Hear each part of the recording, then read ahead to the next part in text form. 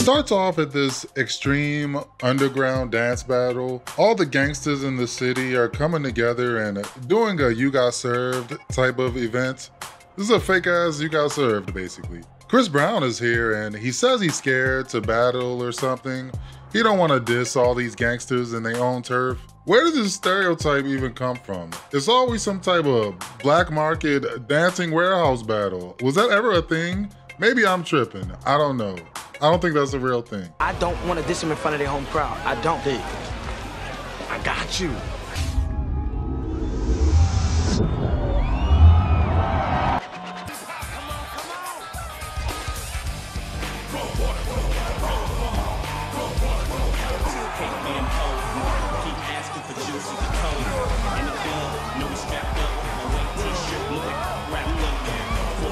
Bro, this song is awful, man. What the fuck? How are we all dancing to this right now? This just sound like a computer virus. Chris Brown and his brother DJ defeat the bad guys. The thug unit is what they call themselves.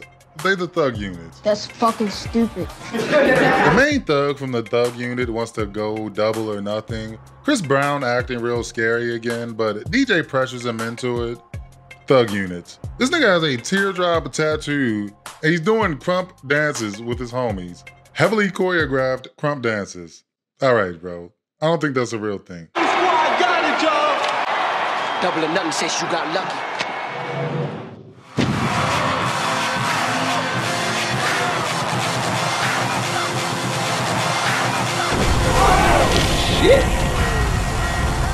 Chris Brown carries the whole team to victory by himself. This nigga is an amazing dancer, bro. It's unbelievable. No bullshit.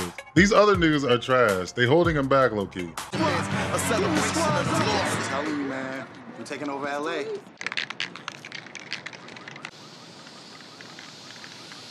All right, all right. That's what's up. Yes, man. Nigga, where'd you get this can of spray paint from? There's nothing right here on the ground, I don't think. Did you get this shit out the trash can, bro? Where did you find this shit? It's the exact right color, too, that you needed? Alright. They all leave in the krumping warehouse, and the thug unit ends up sliding on them in the alleyway. They all have this Def Jam vendetta ass fight scene now. That's what it looks like, low key. Chris Brown is expensive as hell to put in a movie, so he gets shots and he not in the movie no more. Damn. Imagine getting shot over a krumping battle. That's sad. Sad krump movie. I really miss my nigga. After that traumatic incident, DJ moves in with his auntie and uncle in Atlanta. They make him go to college or a job corps or something while he's there. This whole college boy thing is not for me, man. So you better make this college boy thing work out. Can you appreciate that? Why'd you even have to move here in the first place? Was Chris Brown raising you the whole time? What happened to your parents, bro? Nah, they sent him here to stay out of trouble. That makes sense. They don't get into it much. Who's paying for this shit? Whatever. It's his first day of school now at Truth University. Is that what it's called, bro? That sounds like some flat earth shit. This unaccredited ass school. Also, you not Chris Brown, my nigga. I'ma just say it. What's going on here? They catfished the hell out of people back in the day. This shit is supposed to be about Chris Brown, right?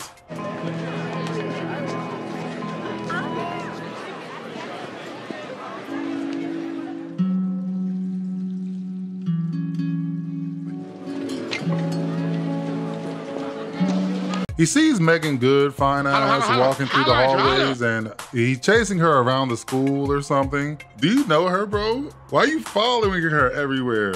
He just really likes her and he wanna holler at her? You gotta relax, bro. This is just like Nick Cannon and Drumline, low key. He trying to marry the first girl he sees. Remember that? Generic college movie, I guess. They all the same, really.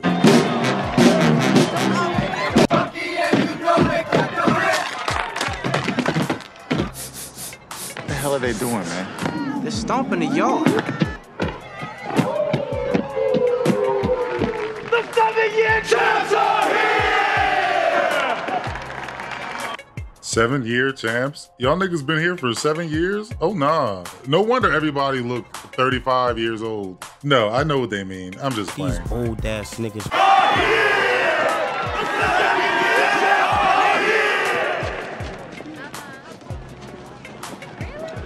Ew, this ugly ass sandwich. And why the fuck is he eating this shit like that? He didn't chew it at all. Like, look at him. He just bit it and swallowed some water like a pill. Y'all know how we do it every week at the feet of Givens Love Miami. Move your body to the right, girl. What's he doing? Move your body to the left, run it up. I'm just adding a little flavor. Now you keep yourself looking this fine, you ain't never gotta worry. No, you don't deserve that. Really, Grant is not someone you want to mess with. Well, somebody's gonna have to bring him down a notch. Oh, don't clown him. Don't clown him. Don't hurt him, Grant. Don't hurt him. Oh, snap. Is he clowning St. Louis? Is he clowning? DJ takes a break from stomping the yard to do his work study job, mowing the yard. He gets approached by the bad guy team and they want him to come and krump for them full time. Mu Gamma Xi has the strongest alumni network, period. Don't step, man. Pussies. Step. DJ tricks Meagan Good into being his history tutor somehow. This shit is creepy, bro. It's really how they portrayed romance back in the day. This nigga a sex pest. That's not romantic. Yeah, I'd like to sign up for a tutor. What subject does April Palmer tutor? History. History it is. How does a nice young girl like yourself know about a place like this? There's a lot of things about me you don't know.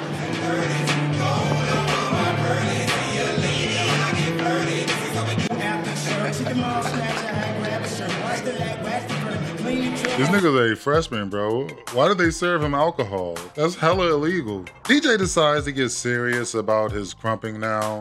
He goes to the Krump Museum and he sees all the famous krumpers of the world. He gets inspired and now he's finally gonna do some dancing. It took him long enough. The movie is halfway over. He's barely been dancing this whole time.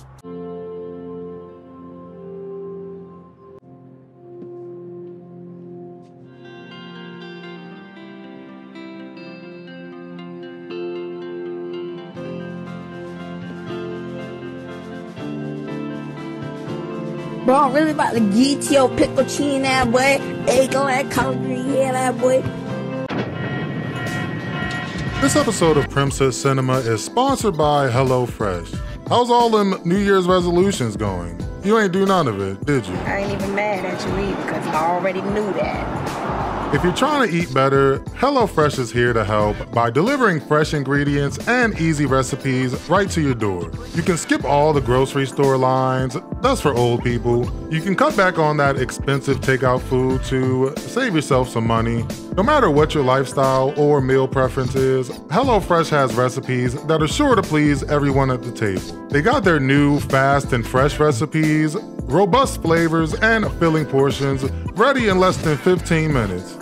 All your HelloFresh boxes come with pre portioned ingredients and easy to follow recipe cards. Even my dumbass can figure it out. I'm a good cook now. I like getting a box of food right to my front door. It's hella convenient. Now, if I ever gotta do a grocery trip, it's a small one, and I'll be chilling. Right now, you can get 65% off and free shipping if you go to HelloFresh.com slash Primm65. Again, it's HelloFresh.com slash Primm65. It's America's number one meal kit. Thanks, HelloFresh, for sponsoring.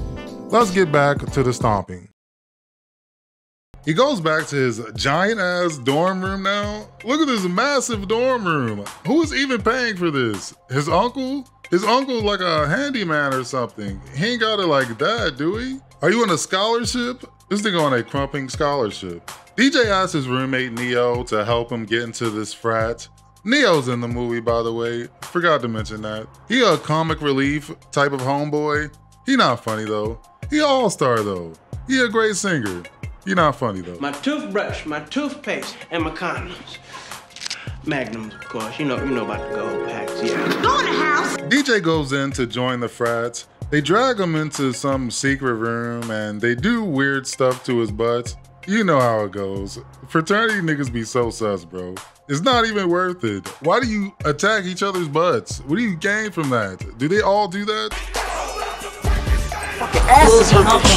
Anyway, he has a montage and now he's in the fraternity, I guess. Just off one montage. It was very quick. This nigga never goes to class, by the way. We haven't seen him in class at all so far.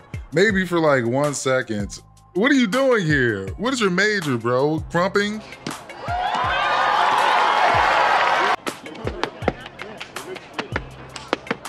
Pork chop, extra gravy.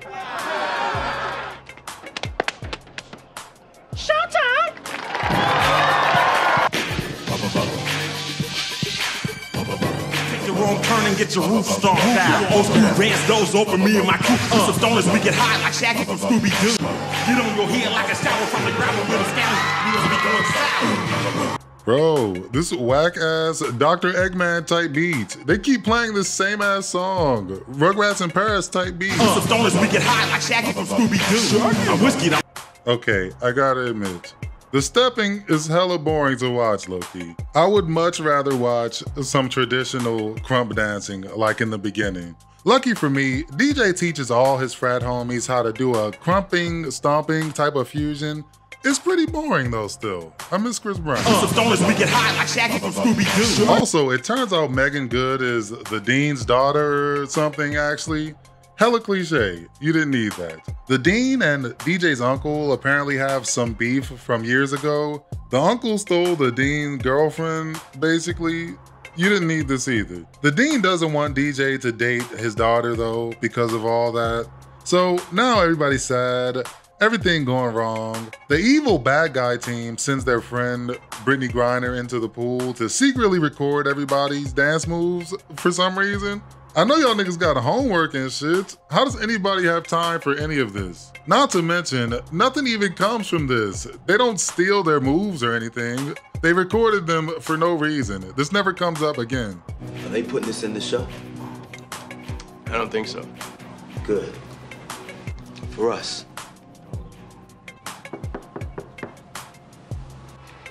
I broke up with him.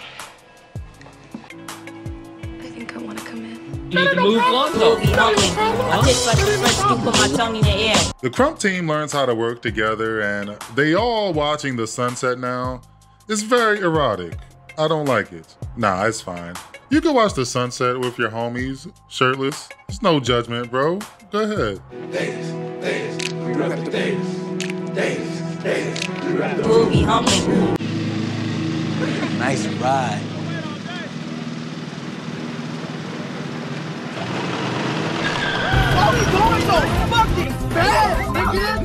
The main bad guy is upset because DJ took his bitch or whatever. and So now he does a whole background check on this nigga. Then he snitches to some school committee about everything he found. You were charged with and convicted of aggravated assault in a brawl that resulted in the death of your brother. If I told you the truth about my conviction, I wouldn't be here anyway. It is the decision of this committee to suspend you for the remainder of the year. Is that right? Can you not go to college if you have a record? That sounds right. I don't know, man. Who made him enroll in the first place? Did they not know he would get kicked out for his record? Did they encourage him to lie or something? It doesn't matter though. All that is immediately resolved in the very next scene. The dean says he'll let DJ stay if he stops dating his daughter. This movie hella cliche, bro. I was trying to be nice about it. This shit is terrible, bro. I wasn't being that nice about it. All the school shit feels like a huge afterthought, too. All the backstory. They didn't give a fuck about this script, 100%. Which is weird, they dedicate so much time to it. All the dancing scenes are condensed into these quick montages most of the time. And all the generic college drama goes on forever, like it's the main point. It's not. This movie did not need to be two hours long. Y'all tripping.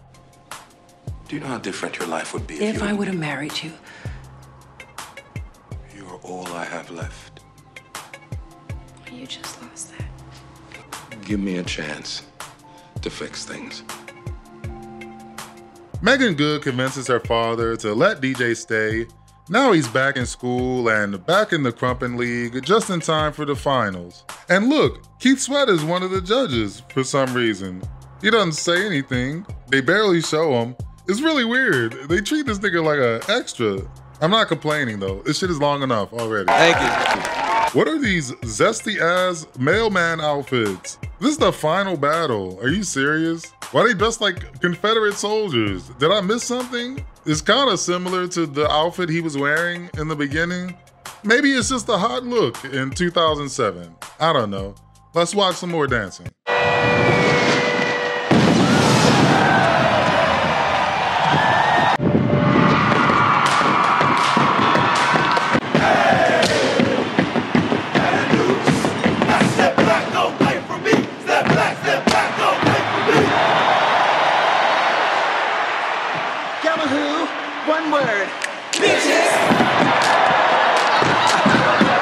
Yeah, I think if I went to college and had some more exposure to this kind of stuff, maybe I would think it's cool, but I didn't, and it's not.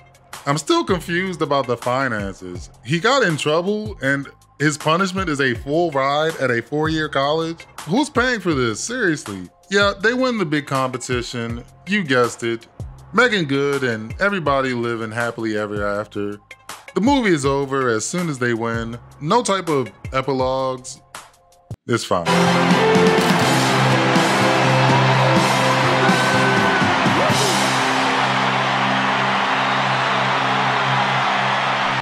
I wasn't really expecting much from this one, but it's still a lot worse than I expected. I would rather watch You Got Served, 100%. At least You Got Served didn't take itself so goddamn serious. They didn't have a bunch of extra storylines about a nigga uncle, uh, principal. The music was better and You Got Served as well. I never thought I would be praising You Got Served this much. This is blowing my mind right now. Also, it is kind of lame how Chris Brown dies in the first 10 minutes. I'm sure they put this nigga in all the marketing on all the posters and shit back in the day. They tricked everybody into watching this. That's not cool.